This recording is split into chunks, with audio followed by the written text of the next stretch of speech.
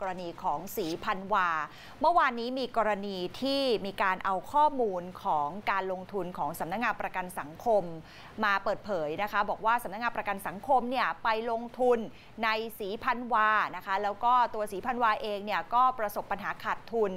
นะคะ แล้วก็มีการเรียกร้องหลายเรื่องเลยทีเดียว ก็เลยทำให้ทางรัฐมนตรีว่าการกระทรวงแรงงานเนี่ยต้องออกมาชี้แจง แล้วก็ทางสำนักงานประกันสังคมก็ต้องออกมาชี้แจงทำความเข้าใจ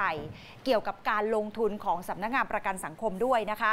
ไปที่รัฐมนตรีว่าการกระทรวงแรงงานกันก่อน คุณสุชาติชมกลิ่น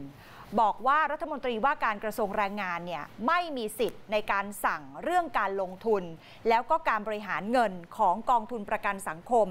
แต่จะมีคณะกรรมการประกันสังคม ที่จะมีปลัดกระทรวงแรงงานเนี่ยไปเป็นประธาน มีตัวแทนฝ่ายนายจ้างลูกจ้างเลขาธิการประกันสังคม ร่วมเป็นกรรมการทำหน้าที่อนุมัติกรอบการลงทุนนะคะ ว่าจะลงทุนได้ภายใต้ความเสี่ยงที่กี่เปอร์เซ็นต์ เบื้องต้นเนี่ยทราบว่ามีการกำหนดรายได้การลงทุนเอาไว้ที่ 5%เปอร์เซ็นต์การลงทุนในโรงแรมสีพันวานั้นผ่านการพิจารณาของคณะกรรมการประกันสังคมในชุดก่อน เพราะว่าได้ดำเนินการลงทุนตั้งแต่ปี 2556 แต่บอร์ดชุดปัจจุบันตั้งขึ้นมาในปลายปี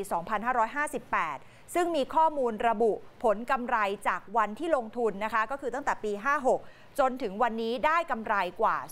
200 ล้านบาทนะคะ คืออธิบายง่าย ๆค่ะว่า การลงทุนในสำนักงงานกองทุนประกันสังคมเนี่ยเขาไม่ได้ลงทุนแต่หุ้นอย่างเดียวนะคะ ส่วนใหญ่แล้ว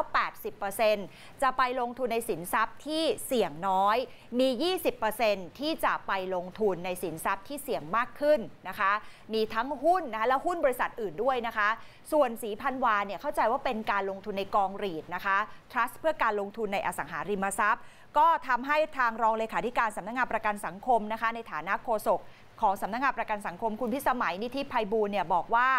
การลงทุนในสีพันวา เป็นการลงทุนในอสังหาริมทรัพย์ โรงแรมสีพันวา มูลค่าประมาณ 505 ล้านบาท ก็เท่ากับ 22.6%ของ จำนวนหน่วยลงทุนนะคะที่สีพันวาเขาออกมาในกองรีดที่ว่านี้นะคะ แล้วก็เริ่มลงทุนตั้งแต่เริ่มจัดตั้งกองเนี่ยในปี 2566 อัตราผลตอบแทนการลงทุนเฉลี่ยรายปีนะคะอยู่ที่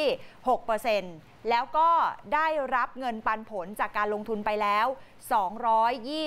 229 ล้านบาทนะคะ แล้วก็ตั้งแต่เดือนมกราคมจนถึงเดือนสิงหาคม 2563 กองทุนประกันสังคม มีการลงทุนแล้วก็มีผลตอบแทนที่รับรู้จำนวนทั้งสิ้น 33,000 ล้านบาท และในโฆษกในฐานะโฆษกของสำนักงงานประกันสังคมเนี่ยก็ต้องการจะสื่อสารให้กับผู้ประกันตนได้มั่นใจ แล้วก็วางใจในการวิเคราะห์ และระมัดระวังของสำนักงงานประกันสังคม ในการนำเงินกองทุนประกันสังคมนั้นไปลงทุน